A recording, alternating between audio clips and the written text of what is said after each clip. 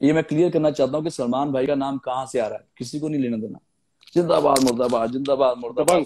विक्रांत। दबंग। Question उठा के दबंग पहली सुपरहिट मूवी बनाई थी अभिनव कश्यप ने। अभिनव ने।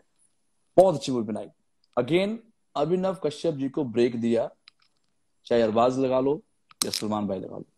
Abhinav Kashyap was a newcomer हो सकता है फिर लोग पूरा ट्रोल करेंगे आई डोंट केयर एक न्यू कमर को उन्होंने चांस दिया फ़िल्म होगी सुपर हिट सुपर हिट मतलब सुपर डुपर हिट अब वो दूसरी फ़िल्म बनानी जा रही है दबंग टू हो सकता है उनकी क्या मिसअंडरस्टैंडिंग होगी आपस में। वो तो या तो अभिनव भी खुद बता सकते हैं, या अरबाज सर बता सकते हैं। अब उनकी नहीं बनी। अब उन्होंने इतने सालों बाद देखा कि अब मौका है, माहौल गर्म बना हुआ है। चलो यार, मैं भी एक ट्वीट मार के देखता हूँ बीच में। मेरे साथ गलत हुआ। आई एग्रेड उनके साथ गलत होगा, उनकी क्या प्रॉब्लम है लाइफ के अंदर वो वही बता सकते हैं।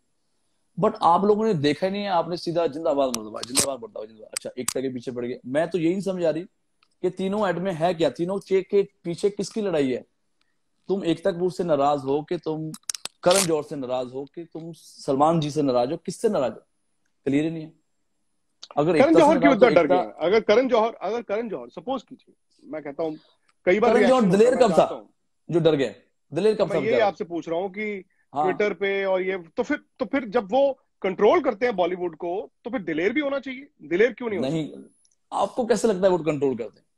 आपको लगता है सिर्फ़ करण जौहर की वजह से पूरी इंडस्ट्री चलती है? नहीं चलती सर। ये कौन लोग हैं जो डिसाइड करते हैं एकदम से आ जाते हैं किसी को भी उठा के पत्थर मारना शुरू कर देते हैं? मेरा इनसे सिर्फ़ हाथ जोड़ के यही बेनती कि भाई एक तो तीन महीने से बैंड बजा हुआ है सारी दुनिया का।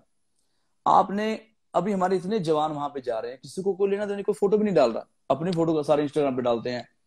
अरे भाई, चाइना में इतनी लड़ाई हो रही है, इतने जवान बढ़ रहे हैं। आपको कुछ थोड़ा बहुत तो होना चाहिए कि आज हम ब्लैक डे करें उनके नाम पे। नहीं होता। इनको अपना है कि हम कुछ वो किसी के बारे में बोल दें, इनके पास पूरा टाइम है। मेरा एनजीओ दस साल से चल रहा है। मैं इनको बोलता हूँ कि, सर, एक रुपया प्लीज़ किसी गरीब की हेल्प करो। आप यकीन मानो, एक रुपया क्या, पच्चीस पैसे नहीं मेरे पास आए। सडनली ओपन हो जाती है वाइन शॉप लाइन लगा के ये लोग वहाँ दारू खरीदने चल जाते हैं। ये कौन लोग हैं? इनका मतलब इनको किस पे गुस्सा आता है? कोई एक वजह तो होनी चाहिए कि यार हमें इस पे गुस्सा है। चलो, तुम्हें सलमान खान भाई पे गुस्सा है?